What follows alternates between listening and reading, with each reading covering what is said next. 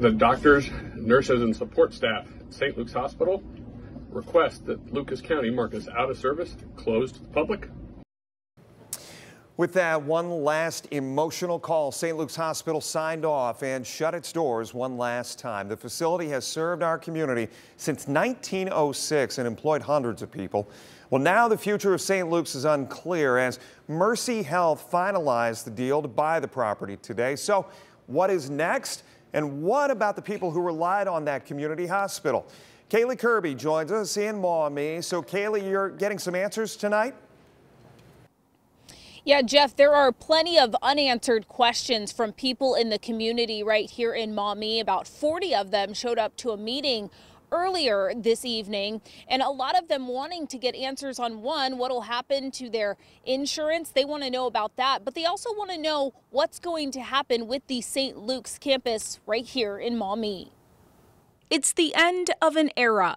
I've had uh, open heart surgery there.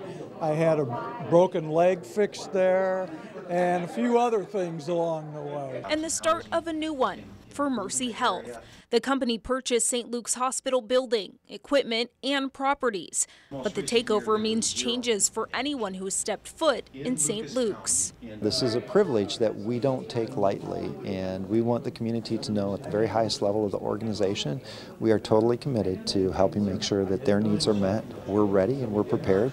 Uh, and hope we can earn their trust.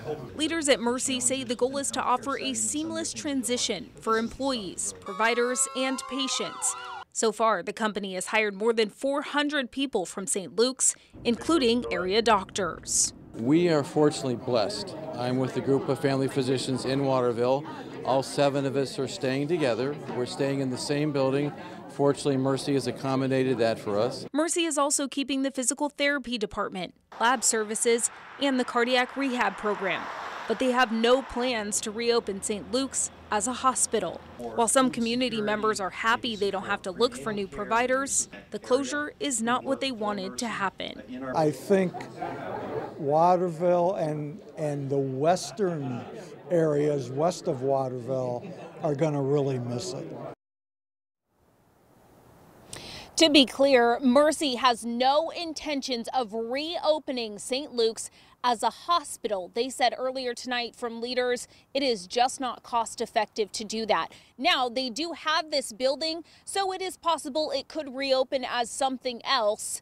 What is it? They don't know yet. Reporting live in Maumee, Kaylee Kirby, WTOL 11.